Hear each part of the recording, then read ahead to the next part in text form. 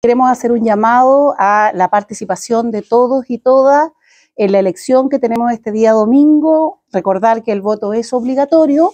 y también hacer un llamado, ¿cierto?, entregar una información a todas las personas con discapacidad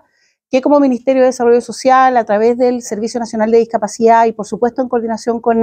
el CERVEL, estamos promoviendo el voto inclusivo. Desde esta perspectiva, promovemos la participación política de las personas con discapacidad en igualdad de condiciones que todos los demás,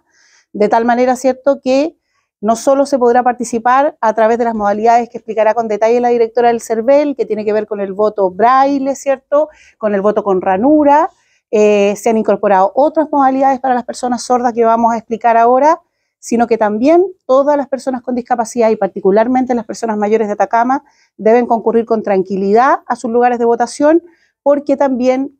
cuentan con el derecho al voto asistido. Es decir, que una persona mayor de edad los puede acompañar a la urna para poder acompañarlos y así desarrollar y expresar su voto con tranquilidad y con todas las garantías ¿cierto? que se otorgan por parte del Estado de que van a poder desarrollarlo eh, de buena manera. Recordar también para aquellas personas que utilizan silla de rueda,